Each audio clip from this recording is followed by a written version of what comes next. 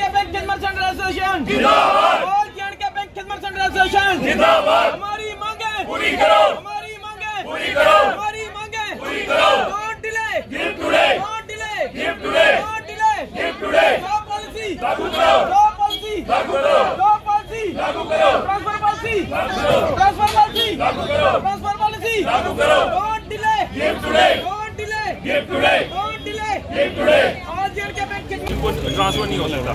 जो कि एक गलत पॉलिसी है। जो कि पहले हमारे फेवर में थी कि हमारे लीगल हायर हमारे मतलब अगर कल को हमें कुछ हो जाता है तो वो लीगल हायर को ट्रांसफ़र हो सके। लेकिन आज की डेट में क्या है? वो कह रहे हैं कि आपको लीगल हायर को ट्रांसफ़र नहीं हो सकता। हम किसी और बंदे को बताएँगे। क्यों? ये क्वेश्चन है ना तो पहली बात है इसका एक एग्रीमेंट था।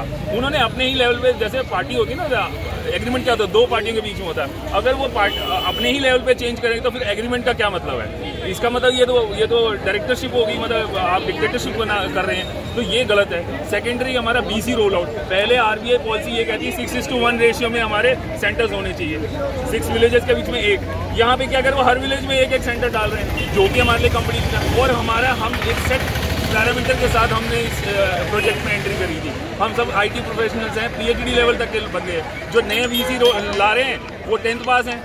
आप क्या एक्सपेक्ट करते हो? जब हम रोड पे हैं तो वो क्या दसवीं पास वाला क्या करेगा? तो ये अनएम्प्लॉयमेंट को तो बढ़ावा दे रहे हैं। कल को क्या होगा? मतलब हम हम ही हमें ही प्रॉपर तरीके से पॉलिसी हमारी इम्प्लीमेंट नहीं की जाए तो वो औरों को क्या बता रहे क्या डिमांड करना हमारी डिमांड है इजी रोल आउट बंद करें जो कि कॉम्पिटिशन क्रिएट करें। सेकेंड है हमारी हमारे जो लीगल राइट्स होते हैं ना मतलब हमारे जो सेंटर के ट्रांसफ़र राइट है वो वापस नहीं है हमें वापस दिए जाएँ। ताकि वो ढंग से ट्रांसफ़र हो सके।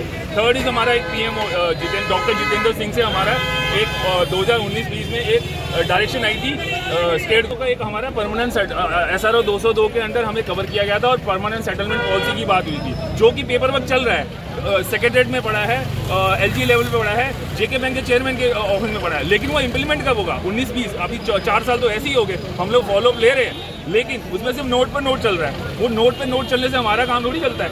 तो ये इसको हम कह रहे हैं कि इसको कंक्लूड करें, इसको करना है तो करें, नहीं करना तो नहीं, ये बता क्यों नहीं रहे? ये पॉलिटिकल गेम बता देते हैं उसको इसीलिए रोका हुआ है हमें लगता है। तो ये हमारी ये तीन चार मेजर डिमांड